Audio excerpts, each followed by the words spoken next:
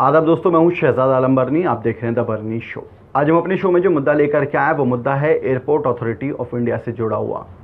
दरअसल कोरोना की जब शुरुआत हुई तो बार बार ये कहा गया कि बाहर से आने वाले लोगों को रोका जाए और जल्द से जल्द फ़्लाइट पर रोक लगाई जाए। और जितने भी लोग विदेशों से आ रहे हैं, उनकी जाँच की जाए, उनको क्वारंटीन किया जाए, उसके बाद ही देश में अंदर आने की इजाज़त दी जाए।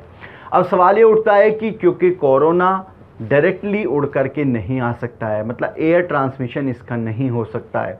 ऐसे में सवाल ये बनता है कि ये कोरोना आएगा तो कहाँ से आएगा? क्योंकि जब लोग विदेश से आएँगे तभी आएगा। और विदेश से आने वाले लोगों के बावजूद अगर एयरपोर्ट अथॉरिटी के कर्मचारियों को कोरोना ना हो तो ऐसा कैसे हो सकता है? दरअसल एक ऐसी ही रिपोर्ट अब सामने आ रही है, जिसमें एयरपोर्ट अथॉरिटी ऑफ़ इंडिया के चार कर्मचारियों को कोरोना पॉजिटिव पाया गया है। ये चारों कर्मचारी इमिग्रेशन पे काम किया करते थे और इस समय राजीव गांधी भवन, जो ऑफ़िस है एयरपोर्ट अथॉरिटी ऑफ़ इंडिया का, उसमें कार्यरत हैं। इनकी जाँच कराई गई तो पता चला कि इनको कोरोना है, क्योंकि इनमें कोरोना के लक्षण दिखाई दे रहे थे। जिसके बाद बिल्डिंग को दो दिन के लिए सील कर दिया गया है। जो राजीव गांधी भवन है, जहाँ पर एयरपोर्ट अथॉरिटी ऑफ़ इंडिया का ऑफ़िस है, उस बिल्डिंग को दो दिन के लिए सील कर दिया गया है। सवाल ये उठता है कि इनसे कितने सारे लोग मिले होंगे जो देश के अंदर आए हैं या जो देश से बाहर जा रहे हैं?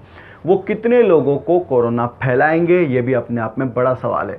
लेकिन अगर एयरपोर्ट अथॉरिटी ऑफ़ इंडिया के लोगों को कोरोना हो रहा है और उनको पहले किसी से हुआ है तो वो ज़रूर कहीं ना कहीं देश के अंदर गया होगा जो कोरोना फैलाएगा। इसीलिए सरकार पर शुरुआत से ही ये सवाल उठ रहे थे कि क्यों नहीं सरकार ने शुरुआत में ही जाँच कराई जब इसका सिलसिला शुरू हुआ था फेबररी के महीने में। और अब जून आते आते दो लाख का आंकड़ा देश भर में पार हो चुका है। बीस हज़ार से ज़्यादा का आंकड़ा दिल्ली के अंदर पार हो चुका है। अब ऐसे में सवाल ये उठता है कि क्या अब कोरोना को कंट्रोल करना आसान होगा? या फिर तभी सरकार ने इस पर रोक क्यों नहीं लगाई थी? आप इस पूरे मामले को किस तरह से देखते हैं, अपनी राय ज़रूर बताएँ। वीडियो के नीचे कमेंट बॉक्स है, उस कमेंट बॉक्स में जाएँ, जाकर के अपनी राय में ज़रूर बताएँ।